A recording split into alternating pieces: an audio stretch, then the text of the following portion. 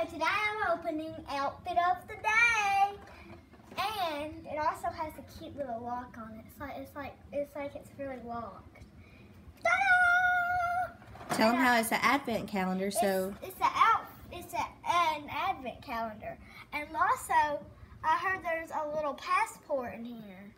passport. Do we get that first, or we have to wait till after we open up our last one? Let's let's wait. Let's wait. Okay, so we only doing one video a day until we get through. So let's do our number one for today since it's December the 1st. Oh my gosh, we got the doll right away. Yay! I think her name. I think her name is. I don't know what her name is. Doesn't say what her name is. Hmm, Well, let me show the camera. So that is what we got today. She's already got some little clothes on, didn't she? Yeah. I have to open up our passport. Uh oh. Oh, that's okay. Hey, there's stickers. They're stickers. Okay. What's her name? Jet Set Cutie. That's so cute. Well, let me see the doll so I can show the camera.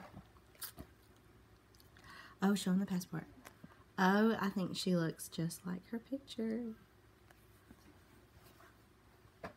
Isn't that great? Oh, it's so tempting not to open another one, but say stay tuned and we're going to open the December 2nd one tomorrow, right?